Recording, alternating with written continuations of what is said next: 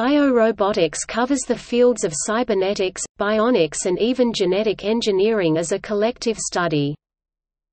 Biorobotics may make robots that emulate or simulate living biological organisms mechanically or even chemically, or make biological organisms as manipulatable and functional as robots, or use biological organisms as components of robots.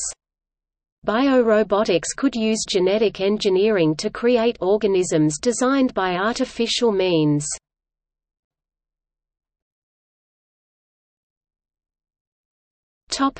Bio-inspired robotics Bio-inspired robotics is the practice of making robots that are inspired by real biological systems, while being simpler and more effective. In contrast, the resemblance of animatronics to biological organisms is usually only in general shape and form.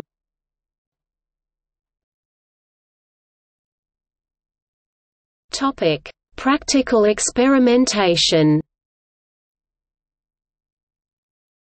Orel VE invented the device of mechanochemiemission microbiorobotics.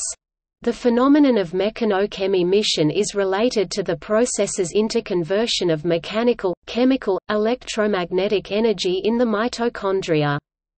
Microbiorobot may be used for treatment of cancer patients. A biological brain, grown from cultured neurons which were originally separated, has been developed as the neurological entity subsequently embodied within a robot body by Kevin Warwick and his team at University of Reading.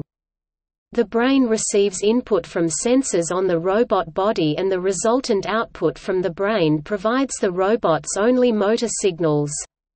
The biological brain is the only brain of the robot. See also